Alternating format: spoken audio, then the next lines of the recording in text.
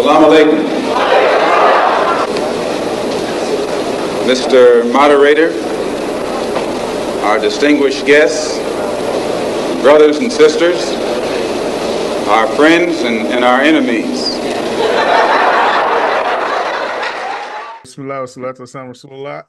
Family, friends, foes, welcome back to the Feachaz. I greet you all in peace and love with no hatred in my heart.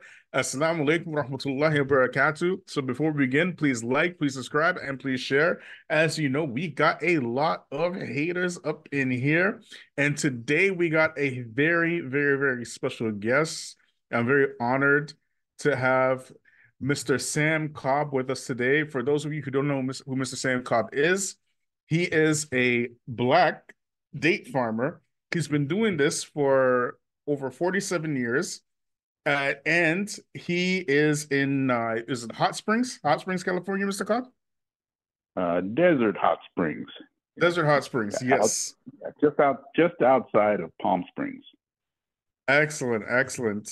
And he has a wealth of knowledge in agriculture. And you know, over here we express the great importance especially for black folks to get into agriculture farming these type of things so i would love to chop it up with mr cobb and ask you a few pointed questions if you don't mind. Well we'll see how sharp those points are. All right excellent excellent. Okay so mr cobb you doing you've been doing this for almost a half a century now right? And the very first uh, thing that i want to ask you is how why did you choose of all things um date farming? Like what what kind of um what kind of uh inspires you to do date farming especially in the united states well uh, i used to work for the united states department of agriculture mm-hmm. and uh, they hired they hired me as a soil conservationist because mm-hmm. of my background in agronomy and mm. those of you who do not know what agronomy is, agronomy is the branch of agriculture that deals with uh, crop production and soil mm. management. So that's my training. So mm. they hired me to work with farmers. And over the years, as time went by, I got transferred to the Coachella Valley where they grow dates. And I started working with date farmers. And mm-hmm. after working with them through the years, you know, I, I never wanted to grow anything on a tree, but mm-hmm. these date farmers, they really loved their dates. And then they had these customers that seemed to love dates just as well as they love growing them. And yeah. over time, I over time I slowly fell in love with growing dates. Mm. I came to the conclusion that growing dates is the same as growing cotton or sugar cane or tomatoes or squash or cucumbers. Mm. I, I said farming is farming, and I'm stuck in the desert. I may as well uh, grow dates. But mm. the big kicker, the big kicker was uh, we would help people start date farms. You know, we would tell them the soil they had, the best soil that they need, how much water the plants require, you know, mm-hmm. the, the spacing that we recommend, the type of irrigation system, whether it's drip irrigation or flood irrigation, uh, mm-hmm. and the type of varieties they should plant. And then I just kept doing that year after year. And as mm. time went by, they started coming back shaking my hand and thanking wow. me. Wow. And I said to myself, I should take my own advice.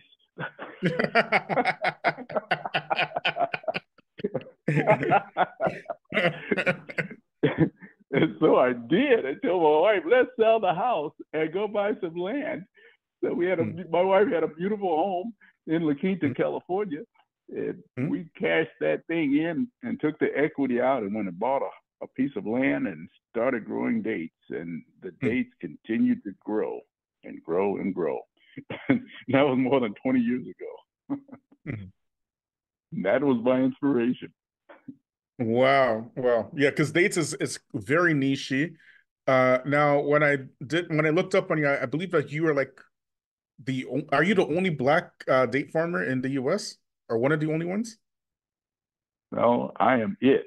And another you're, gentleman, you're it. yeah. I am it. Someone else told me, he said, brother, brother, you're not just the only one in the United States. You're the Mhm. only one in the Western Hemisphere. Wow. Yeah. I said, you may be right. yeah. Because- Yeah. Because I, I I was I watched some interviews with you and and we didn't see any any um you know black people around you. It was mostly like you know like uh uh, the uh, white folks and whatnot, and they were taking they were they really respected you and they really gave you a lot of um your your your your due respect, right, with with, with regards to your knowledge and whatnot. So you're definitely well respected. How how would some some of um what would you advise for black folk to get into farming? Like how how would you advise them if they wanted to get into farming? if black people would want to get into farming, Mhm. uh, they should start. You can get into it, but there's another level. There's a deep level. I'm in. I'm in the deep end of the pool, and to get to the deep end of the pool, you have to know how to swim. So Mm. It's best to start as early in your life as possible. Mm. And if you have kids, the best thing that you could do is encourage your children to study agriculture from an early Mhm. age. Mm. And because it takes a long time to to to get this stuff. You know, not to discourage people from farming or gardening. It's a it's, it's a decent thing. I I I love gardening and I love farming. Really, Mm. really love farming. And farming is it's a lot of fun when you're making money. When you Mm. start losing money, the fun leaves immediately.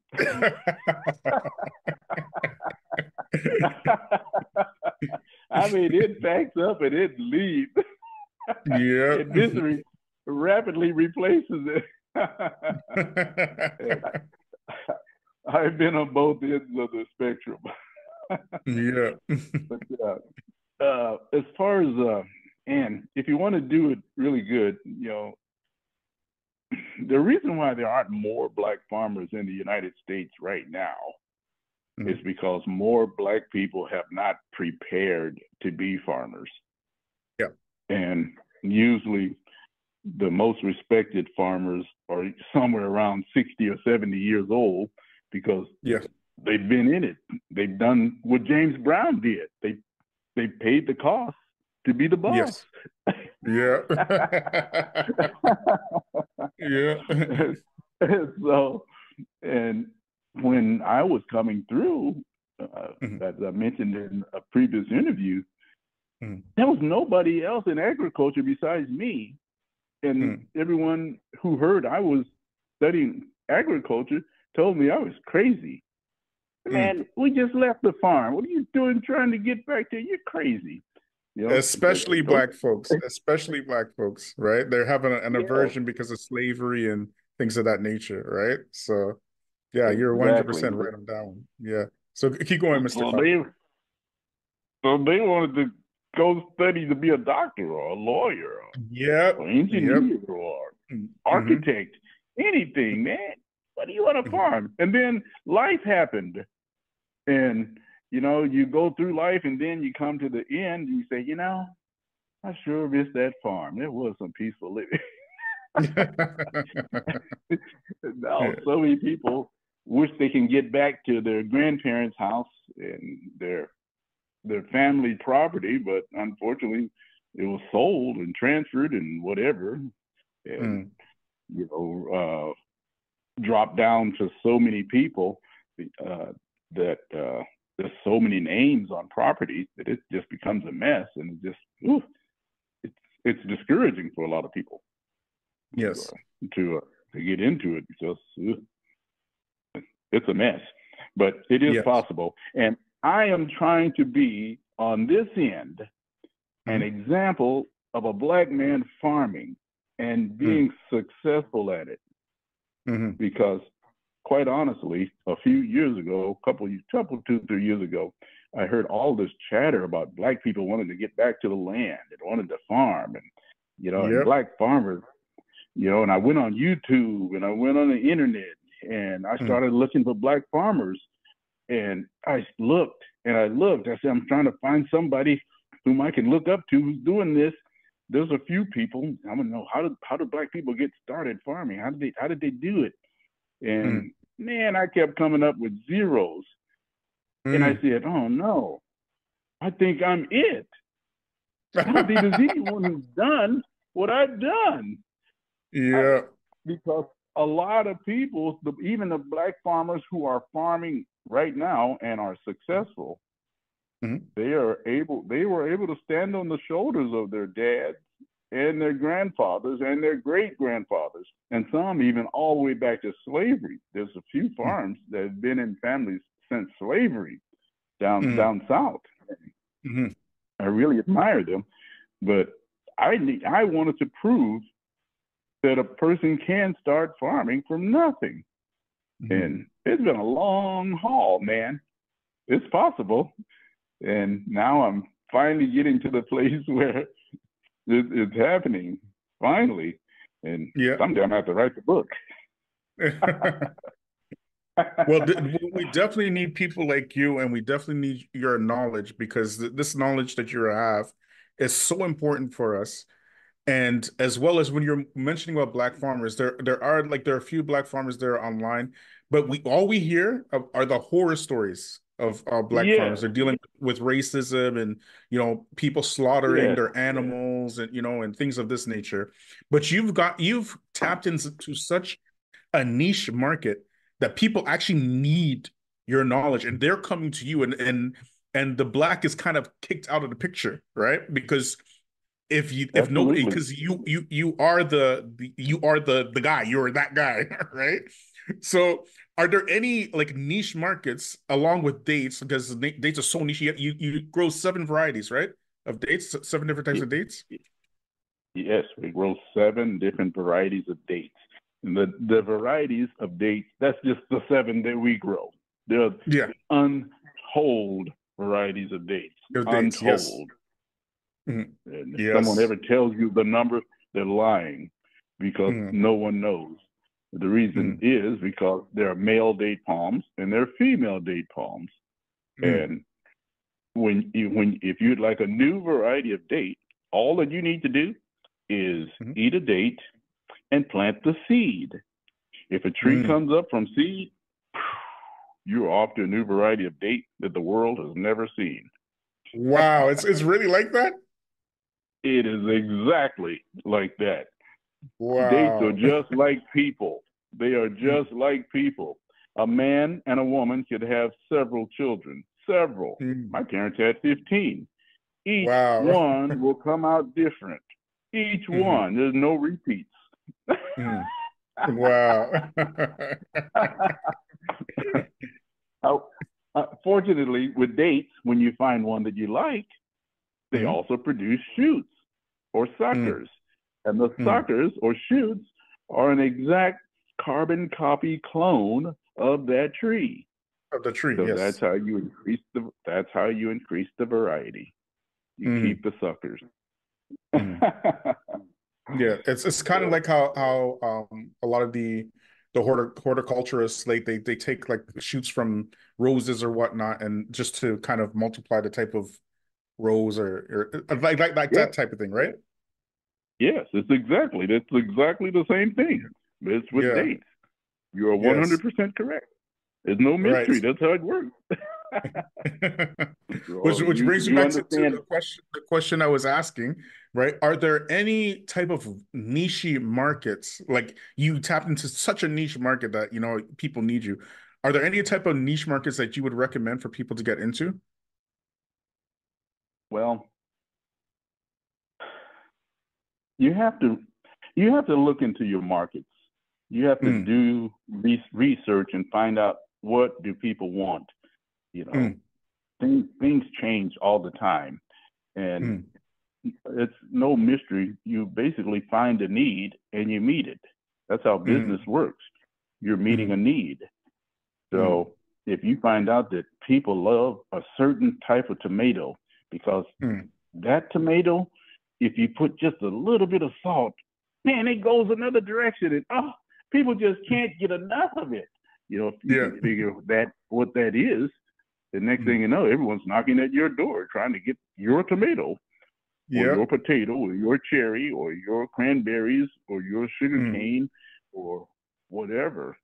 Uh, Mm. So I cannot put a finger on what it is, but Mm. one thing that always stands out is quality. Mm. Quality always sells. Simple as Mm. that. Quality sells when the prices are high. Quality sells when the prices are low. If Mm. a person grows quality, their stuff will always sell. When the Mm. price is really high, they'll say, ha, all these prices are so high. We may as well get the good stuff.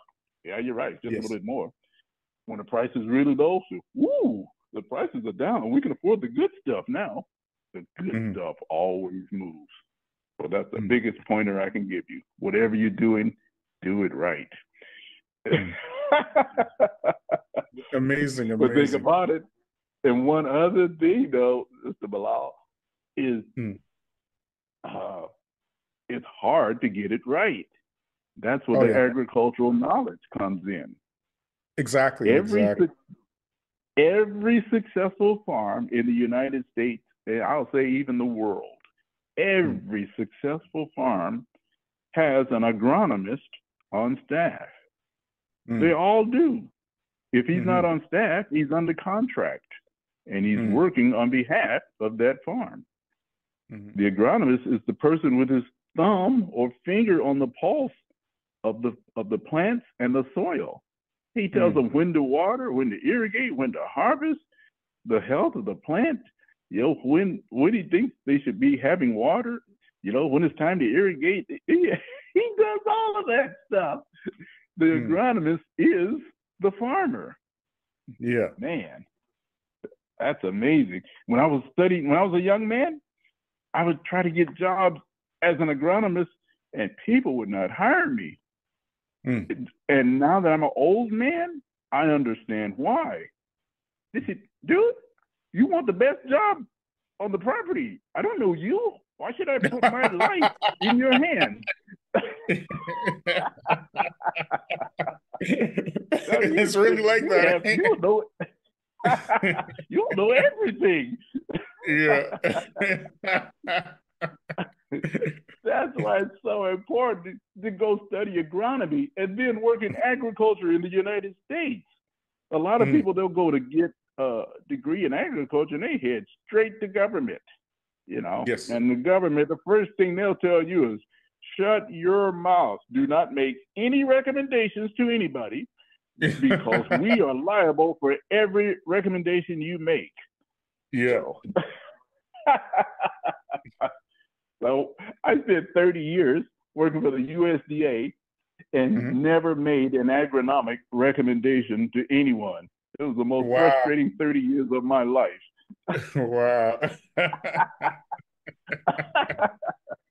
wow. All I can say is, well, this is this is what we think. Now, don't, don't quote me on this. You know, I'm I'm just letting you know what Sam thinks. This is not the USDA, but this is what Mhm. I would do. You know, let's phrase it like that. Mhm. And if it doesn't work out, don't you come back to me. I'm just a friend talking to a friend, and I I, I wish you well. But Mhm. uh, on you know, when an agronomist makes a recommendation, man, let me tell you, the board of directors are listening. Uh, the the farm manager is listening. Everybody is listening to that agronomist. Because, Yes. man, jeez, that's an important job. Man, Yeah. thank goodness I'm an agronomist. I cannot afford to hire me. For what I know,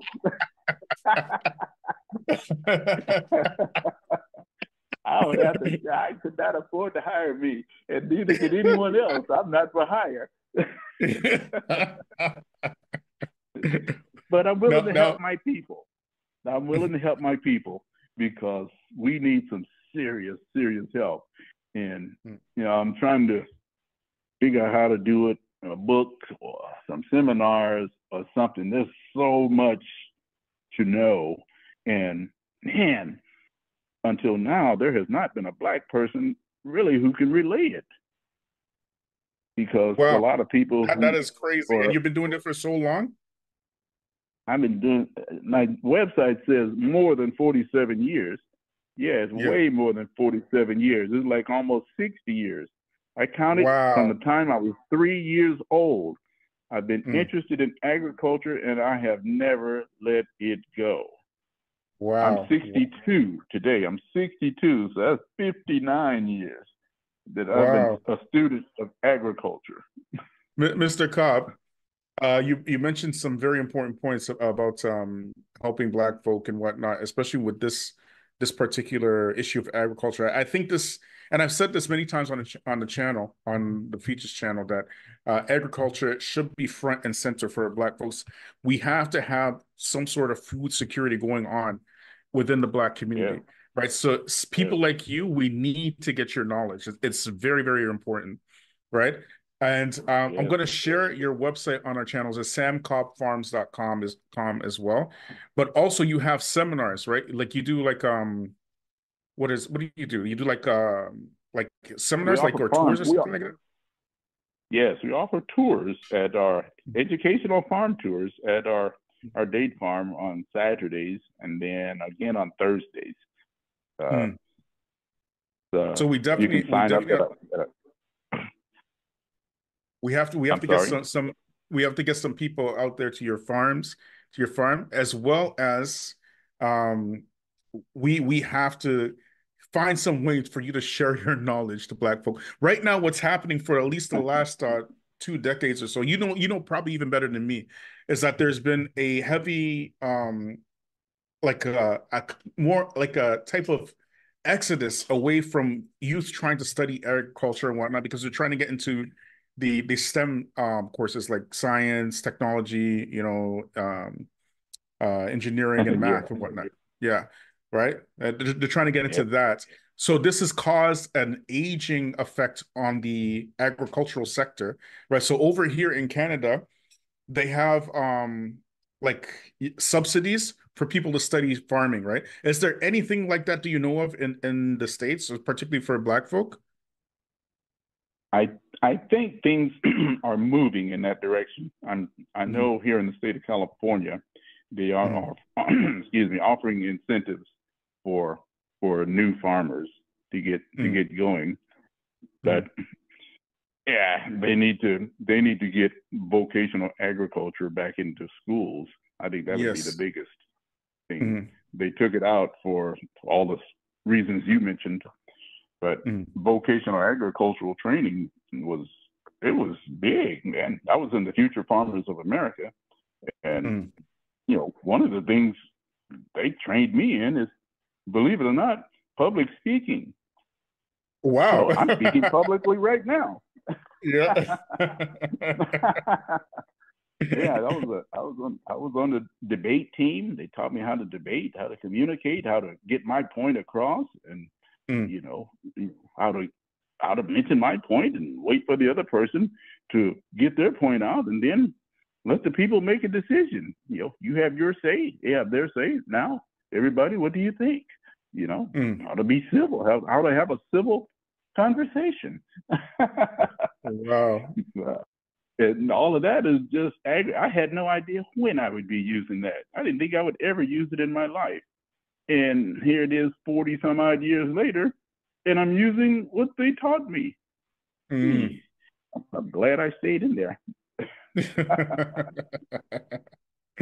In fact, I All was right. I was so good at it, Mr. Bilal, that uh, Mhm. Bank of America, Bank of America paid my way through college. They Oh, wow. an- yeah, all the way through. I had, I mean, I was in Fresno. That's where I'm from, Fresno, California, and Mhm. Bank of America gave me a scholarship to go to school in my hometown. So I always had money in my pocket. I did, and I was it. I grew up in the agriculture region, so you know, I just went down the street to the school. I didn't go across the country. I didn't go across the world. Around what year was that, Mr. Cobb? Around what year? I was in the 1980s, from 1980 to 84. I graduated Wow. in 1984 out of Fresno State University. You know, Wow. Bank of America, they paid me to go and receive a degree in agricultural education. Mm. I said to my ag. I said to my ag instructor, I do not want to be an ag teacher. And Hmm. he said, Sam, Sam, Sam, go to school. You know, take their money, go to school, get Yeah. the degree, and then go do what you want to do with your life. Yeah. I said, Oh, you can do that? They said, Yes, you can do that. So I took their Wow. money and I went to school. Turned out to be an absolutely fantastic degree. The inform- the Mm. things I learned, it was just like, you know, uh, a chipmunk or something, squirreling away nuts. I was just putting away information. I thought it was a waste of time. And now that I'm an older American, I look back, I say, gracious, that was a good, that was a good training. That was a good education Mm. because they trained us in animal science, plant science, ag mechanics, you know, how to keep all of our equipment going and everything. And then they trained us in ag economics, you know, the economics of the farm, the, which is the business of, of farming. exactly. You know, and, exactly. and how That's- things are taxed. Mhm. Yeah, the Schedule F form that we had to fill out, we had to do it. I had to take a class called farm accounting, and we had to make the Oh, books balance and all of that. Wow. Yeah, Yeah. so it turned out to be great. I, I still do my own taxes today. Miss Miss Maxine doesn't do them for you? Huh? Mrs. Maxine doesn't do them for you? No, they're, they're too complicated. Evan, I have a I have a brother who's a, a CPA, thank goodness. So every Oh, now wow, and then excellent. I bounce things. Yeah, every now and then I bounce things off of him, and Mm. I find out that I'm I'm still right on track. You know, he doesn't do my taxes. He doesn't look at look at my books. He just tell me, uh, yeah, do this, do that. Well, go study this. I said, what do you mean? Well, keep reading, you will find the answers. and he's right. After a while, the light comes on and, it makes sense. And now I'm over the hurdle. But uh, I, I got stuck a couple of times where his uh, his true uh, uh, accounting background really helped me out. So Mm. props to my brother Dexter. Excellent. All right, Mr. Cobb, I'll let you have um any final thoughts that you want to share with us and any any other knowledge or or tips you want to share with us before we um close it out. All right. Well, uh, I would you know, may as well leave some uh, words of encouragement. That's uh, kind of what I do in life. I've always been one to encourage people. So Mm. uh, I would encourage those who are interested in agriculture to um, uh, learn uh, agriculture. And there's Mm. one class that, uh, in particular, that I would encourage people to take. I was encouraged not to take this class because everyone around me said that that's a hard class. If you can skip that class, skip it. And Mm. what what it was is that class was the foundation of agriculture scientifically, and they were not interested, so their brains was always turned off. And that class is organic organic chemistry. Oh wow. I did I did not take organic chemistry, but now Mhm. that I'm late in my life and I'm deep in business, I said, man, all I'm doing is organic chemistry. I wish I understood it a lot better. But Mm. praise God for some friends who do understand it and Mm. they uh they share information. And, you know, I had a guy in the laboratory, he understands the stuff, and I said, man, I really enjoy talking to you. So if you if you if you have your kids go go to school, make sure they take organic chemistry Organic. because Yeah. yeah, because and you you just can't jump right into organic chemistry. You have to build up to it. You know, chemistry Mm. one, chemistry two, and then organic chemistry. So, Mm. but that's you'll learn the lifeblood of the plants and how they function, and then you'll Mm. that's how you'll learn to be a good farmer. It seemed like you know that would not be the case because, but it is. And then you know learn all your lessons. There's, you'll learn about buying land, and opportunities will present themselves over Oh, time wow. and continue to grow good stuff. As you continue to grow quality stuff, you know, the Hmm. opportunities for land will present themselves. Just stay at it and let people know that you're looking for land. You just let people know. And eventually something will break your way. Just keep living. Because as Hmm. I've lived in life, I found out that people who hold on to land before it's all over, they have to let it go. They Hmm. either get old, they die, it gets transferred to their kids, and they say, I don't want this. And then they sell it. It's a trip. Mm. Things happen. And sometimes you have opportunity to go to new land and open it up even and become a pioneer. And that's what I've done on some ground. I had Yes. I pioneered some ground. So, hey, study agriculture, uh, learn your lessons, and see if you can find a mentor in agriculture. And I will try to. Well, we to we, still have you, people Mr. Cobb. So we'll be we will be sending uh, our people to you for sure. okay, and I, I I really hope you don't mind. I really hope you don't mind because you are honestly you are a very very big inspiration, and that and that is not like fluff fluffing your ears or anything like that. I really mean that from the bottom of my heart. Right, with the from the Well, first time. I, I I read about you and when the brother uh Naeem he sent me your, your information because I never heard about you and I just went and I and I, I was like such in such awe of what you were doing out there in um in uh California right? So Um, and uh, and and uh and I think I told you this before but I can't I can't say it enough. If I say it a hundred times it still wouldn't be enough right? And I mean that. I really mean that and I really hope that we can get you back on in the future sometime I hope that you'll you'll honor us with your your presence again in the future. I hope I really hope so. hey, I, I, I'm, I'm sure it will. I'm sure it will because you have uh, a platform that reaches many people who are interested in the things of the earth and plants. And if people are interested in hearing, then hey, I'm interested in, in helping. So Thank you We'll so much, Mr. Cobb. Thank you so All right, much. Mr. Thank you so much for blessing us with your time. And uh, I won't keep you any longer. And we hope to hear from you soon. okay, have a great day. You too. You too. All right, bye bye. paper gold.